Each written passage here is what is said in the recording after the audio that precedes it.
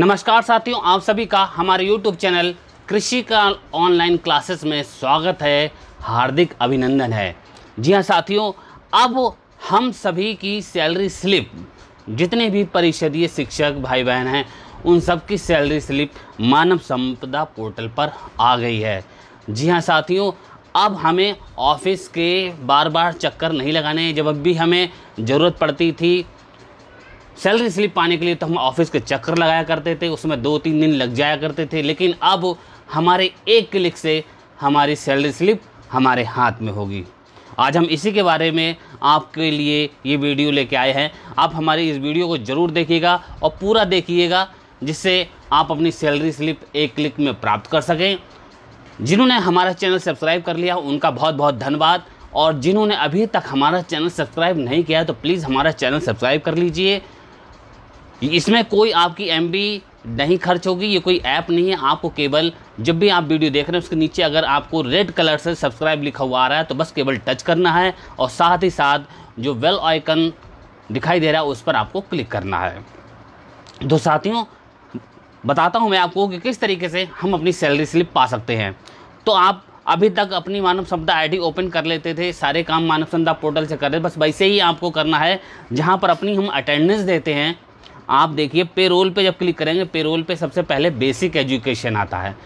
आप basic education से लिए, जो सैलरी स्लिप का सही आपको अगर लेना है तो आप यहाँ से ले सकते हैं कि पेरोल में बेसिक एजुकेशन पे क्लिक करते हैं तो हमारे पास तीन ऑप्शन आते हैं सैलरी स्लिप अटेंडेंस और रिटायरमेंट अभी तक हम अटेंडेंस का ही प्रयोग कर रहे थे, क्योंकि अटेंडेंस अपनी हम भर रहे थे फॉर्म से जो हम नौ अपना प्रपत्र नौ जमा कर रहे थे, वो ऑनलाइन क्योंकि इस समय कोरोना काल में विद्यालय बंद थे इसलिए हम अपनी ऑनलाइन अटेंडेंस दे रहे थे। अब जो सैलरी स्लिप पाना है तो हम इस सैलरी स्लिप जो आप देख रहे हैं, सबसे पहला ऑप्शन ये है सैलरी स्लिप इस पर क्लिक करेंगे। और जैसे ही आप इस सैलरी स्लिप पर क्लिक करेंगे, आपके, आपसे ही दो चीज़ें पूछेगा ईयर और मंथ कि आपको किस ईयर की सैलरी स्लिप चाहिए। तो साथियों, मैं आपको एक बात और बता दूँ कि अभी तक पिछला जो डाटा है, वो इस पर अपलोड नहीं है। तो आप जब से आपका इसमें डाटा अपलोड किया जाएगा, उस डाटा की आप सैलरी स्लिप प्राप्त कर सकते हैं। कई जनपदों में बहुत पहले से ही सैलरी स्लिप निकलना शुरू हो गई है, आना शुरू हो गई है और अभी भी कुछ ज़िलों में अभी डाटा पूरी तरीके से पूर्ण नहीं हुआ है, इसलिए वहाँ शुरू नहीं हुई है। लेकिन जल्दी ही, क्योंकि अब आदेश आ चुका है कि जल्दी ही सभी पूरे जनपद, पूरे उत्तर प्रदेश में सभी शिक्षकों की सैलरी जो वेतन है, वो पे अपना पे रोल मैनेजमेंट के द्वारा भेजा जाए।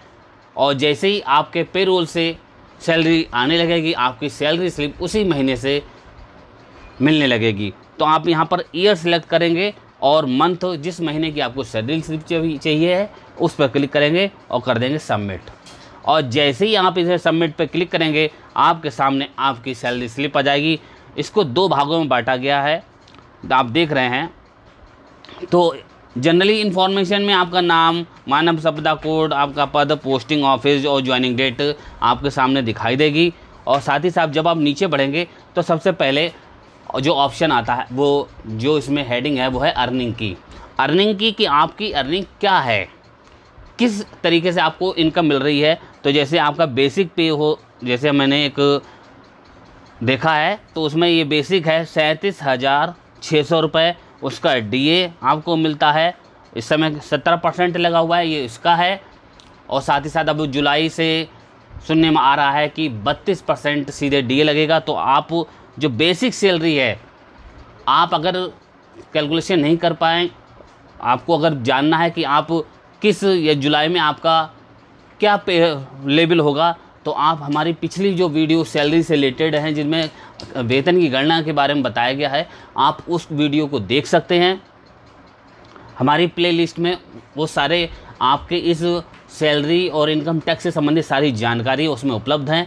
आपको कहीं भी अलग से किसी साइट की आवश्यकता नहीं है। तो हम डी ए सत्रह परसेंट हमें प्राप्त होता है और साथ ही साथ में एच आर ए प्राप्त होता है। केवल वर्षीय जो अध्यापक हैं उनको ये डी ए और एच आर ए अलग से प्राप्त होता है।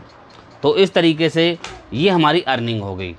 अर्निंग के बाद अब आती डिडक्शन की कि हमारा कटौती क्या क्या होती है। तो जो पुराने 2004 से पहले जो भी नियुक्त हुए हैं, उनका जीपीएफ कटता है तो उनका जीपीएफ दिखाई देगा।